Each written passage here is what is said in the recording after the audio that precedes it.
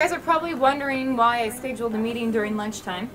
But I'm more than a little concerned about the amount of junk food this whole team's been eating. What's that on your shirt? This is a sandwich I would like to find. No more junk food in this area. And Pat, no more bacon. Bacon is good for me. Bacon is not good for you. It's not good for anyone. That's it. I'm out of here. Just because Melissa smells like steamed vegetable farts, she thinks she come to the blog team and change things. She act like she the queen and we're the sorry people. I didn't mean to hurt your feelings. I'm just really concerned about the amount of bacon you eat. You're eating bacon right now. Where are you getting all this bacon? I get hungry. I keep bacon in my shoe. Emergencies.